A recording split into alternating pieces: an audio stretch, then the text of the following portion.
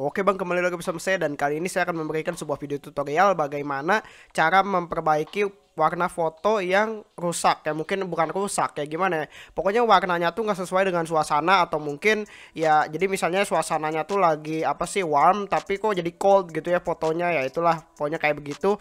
Dan langsung saja di sini kita akan mulai tutorialnya. Di sini saya menggunakan Photoshop ya. Emang kalau misalnya warna kayak gini memang cuma bisa di Photoshop ya kali ya. Nah ini contohnya di sini saya sudah punya foto ini ya jadi ini adalah foto thumbnail ya kan, thumbnail di video sebelumnya ya kan. Nah, jadi sebelum dijadiin thumbnail saya itu uh, fotonya ini saya saya benerin dulu gitu ya warnanya. Dan bisa dilihat di sini warnanya tuh terlalu hijau gitu ya dan kalau misalnya dilihat kan kayak enak gitu ya. Dan di sini kita cukup ke image ya, image dan adjustment dan di sini kita akan ke yang curves ya atau mungkin CTRL-M aja langsung ya, CTRL-M. Nah, di sini karena warnanya tuh hijau gitu ya bisa dilihat sendiri hijau ya kan ke hijau-hijauan gitu. Di sini saya akan mengganti channelnya itu menjadi green ya atau mungkin hijau lah ya. Nah di sini kita akan coba turunin ya kan hijaunya. Nah contohnya bakal kayak gitu ya kan terlalu banyak ya kan.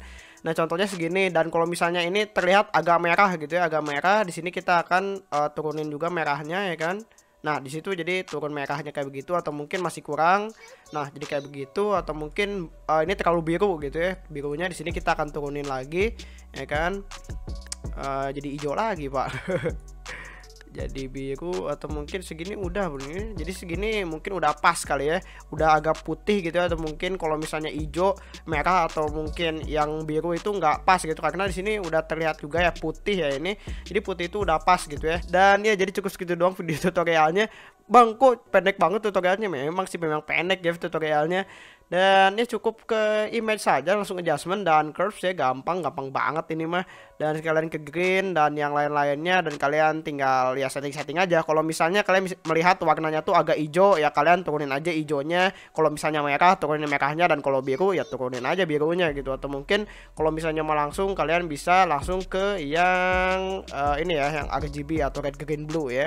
Mungkin kita naikin atau mungkin kayak gitu atau mungkin kita turunin ya kan? Contohnya kayak gitu. Itu terserah kalian. Kalian mau sukanya yang kayak gini ya kan? Atau mungkin yang lebih gelapnya itu terserah kalian ya.